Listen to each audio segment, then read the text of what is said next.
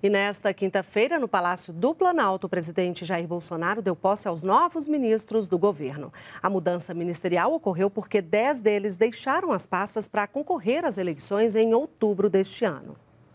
O presidente Jair Bolsonaro participou da cerimônia de despedida dos antigos ministros, com a presença dos novos dirigentes das pastas. Todos os mandatários já atuavam no governo federal. Marcelo Sampaio assumiu o Ministério da Infraestrutura.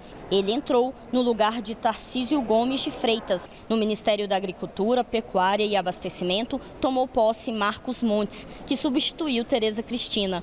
Ronaldo Vieira Bento assumiu o Ministério da Cidadania, no lugar de João Roma. No Ministério do Desenvolvimento Regional, o substituto é Daniel Ferreira, no lugar de Rogério Marinho. José Carlos Oliveira é o novo ministro do Trabalho e Previdência, em substituição a Onix Lorenzoni.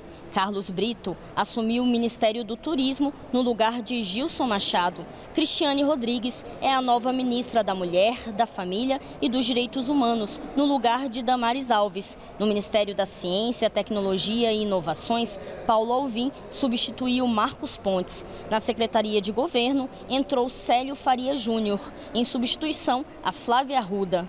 Além dos nove ministros que tomaram posse na cerimônia, também o general Paulo Sérgio Nogueira deixou o comando do Exército e foi nomeado ministro da Defesa, em substituição ao general Braga Neto. As mudanças ocorreram por causa da lei de inegibilidade, que define que os ministros que desejam se candidatar deixem os cargos em até seis meses antes do primeiro turno. Os novos ministros que entram a partir de agora vão dar continuidade às políticas públicas já desenvolvidas desenvolvidas pelo governo federal. Eu quero agradecer aos ministros que nos deixam hoje.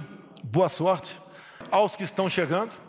Falei para eles exatamente o que falei para aqueles quando eu os nomeei em janeiro de 2019. O ministério é de vocês. Eu tenho o poder de veto se perceber algo que está acontecendo de errado ou que não está indo muito bem. Converso com vocês, portas abertas aqui. É uma tremenda responsabilidade.